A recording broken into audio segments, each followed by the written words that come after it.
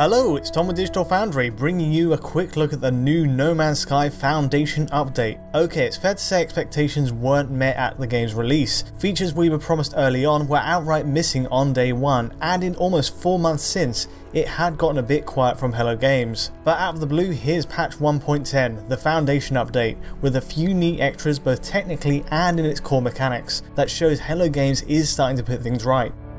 There's the twists on gameplay, the new algorithms for flora and fauna that brings more variety to each planet, a base building system, a quick menu and much more.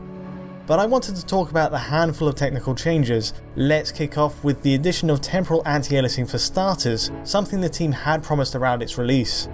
Originally, No Man's Sky suffered from obvious pixel crawl on PS4, especially in space hub areas with sharp lights and also the flickering noise when flying over fir trees.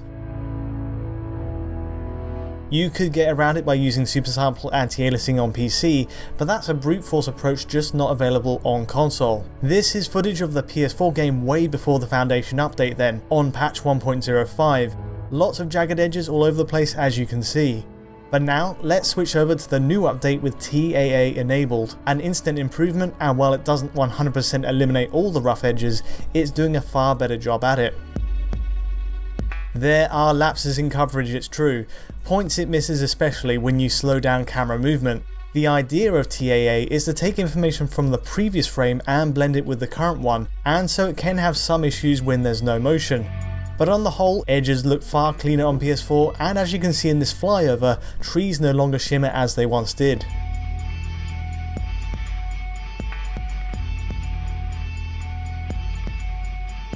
Even the HUD on the bottom left is free of the aliasing artifacts we saw on earlier patches.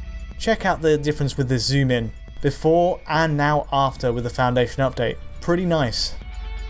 A downside to TAA is that it slightly blows over assets in most games, but No Man's Sky aesthetic is generally much simpler. It's less reliant on high frequency textures in the first place, meaning you don't really see any degrading in detail. Also, we'd expect a slight ghosting trail with TAA. The good news is it's practically impossible to catch if there is, since the update also comes bundled with Motion Blur, the other big addition.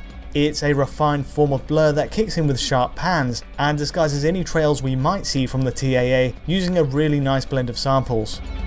Motion blur might not be to all tastes, but No Man's Sky makes a great case for it. It's a lot more subtle than most games this generation, no banding artifacts to speak of, and it even doubles up by making PS4's 30fps cap much easier on the eye, which is a bonus. Speaking of frame rate, we wondered if base PS4 performance had improved at all since launch. Bear in mind, it's impossible to recreate scenes for identical tests, with the universe being regenerated essentially in the Foundation update. But still, a quick fly over a planet shows when stressed, Hello Games' engine can still be pushed to frame rates as low as 24 FPS. It's really nitpicking because the game locks to 30 FPS 99% of the time. It's actually really well optimized for that target. But still, though I've yet to see anything like the 20 FPS drops of the launch code, it shows a bottleneck on PS4 with the procedural generation of terrain. From a technical slant, it's business as usual there, but the temporal anti-aliasing and motion blur are at least well implemented extras. This is of course all base PS4, but looking to the future, Hello Games can do plenty with PS4 Pro support down the line, if and when that comes. But that's a story for another day. If you found this quick look interesting, do feel free to give us a like or subscribe, and you're welcome to check out our Patreon at digitalfoundry.net to see our videos exactly as we intended, before uploading to YouTube. But until next time, thanks for watching.